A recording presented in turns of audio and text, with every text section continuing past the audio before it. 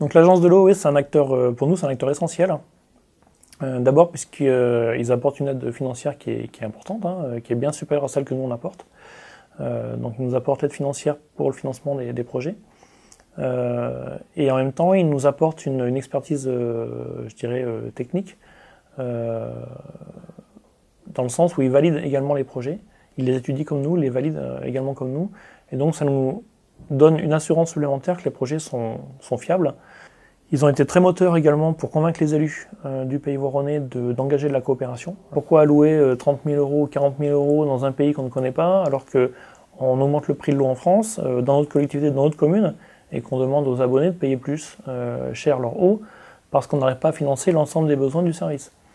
Une des principales réponses qui a été euh, apportée et qui a permis en fait de lever cette interrogation, c'était bah, l'action de l'agence de l'eau, qui a convaincu les élus que 1 euro apporté par la collectivité, c'était 5 euros engagés dans le pays. Calémie, on engage 90 euh, 000 euros et l'agence de l'eau engage 510 000 euros. Donc euh, c'est énorme. L'agence de l'eau RMC, donc Rhône-Méditerranée-Corse et Seine-Normandie.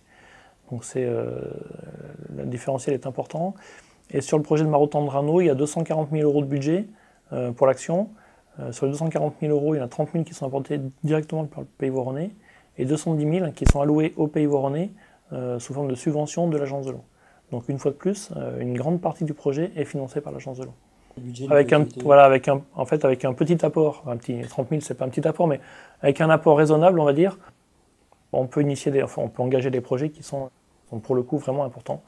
Puisque si c'est vrai qu'avec 30 000 euros, on fait pas grand chose euh, en France comme dans un pays euh, euh, du Sud, par contre, avec 250 ou 300 000 euros, là, pour le coup, on fait des opérations qui sont vraiment importantes, qui permettent vraiment de changer la vie des, citoyens ou des, gens. Euh, donc ça aurait été dommage de, se priver de, ces leviers existants et pour lesquels l'agence de l'eau n'hésitait pas à nous relancer euh, régulièrement.